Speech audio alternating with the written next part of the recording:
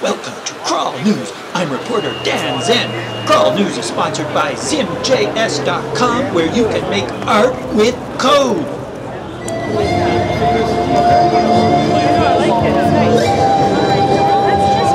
This is reporter Dan Zen here at the Art Crawl. There is beautiful music playing.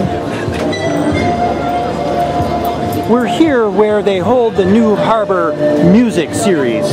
Did you ever see the New Harbor Music Series? No, I haven't. Oh, fantastic. What art have you seen here at the Art Crawl today for Crawl News? A lot. A brilliant answer. You are art yourselves, the two of you. Absolutely wonderful. Oh, thank you. Enjoy. Thank you.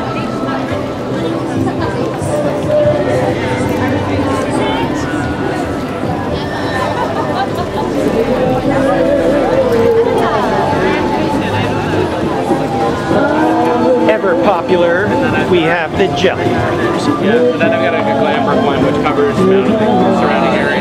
Yeah, that's nice. I like these ones. How much did you guys get for these? 20 bucks? Something Those like are funny. that? Fantastic.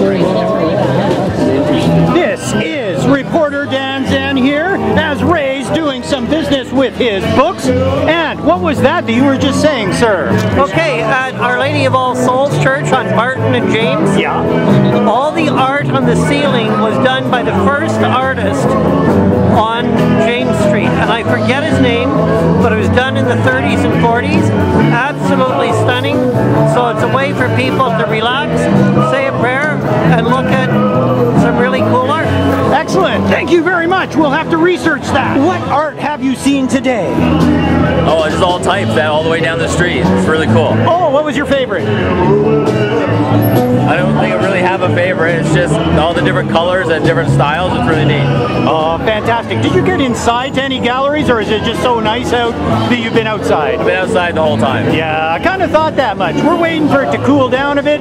Maybe more people will go in. Make sure you get into the galleries. I will. Ciao. Have a great night.